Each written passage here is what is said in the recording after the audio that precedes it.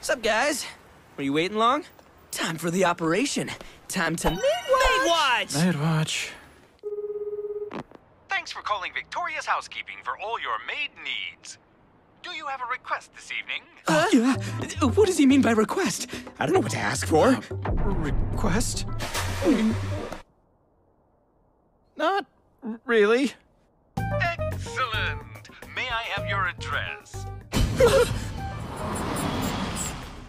Oh man, it's real. This is really happening. Uh, guys, are high schoolers even allowed to do this? Huh? What do you mean, huh? You didn't check? Is I supposed to do all the research? Um, nice to meet you. So tell me, what can I do for you today? Oh my, that is such smooth skin you have, Master. Uh, how... How old are you exactly? hmm, Well, I. I'm a dad. okay.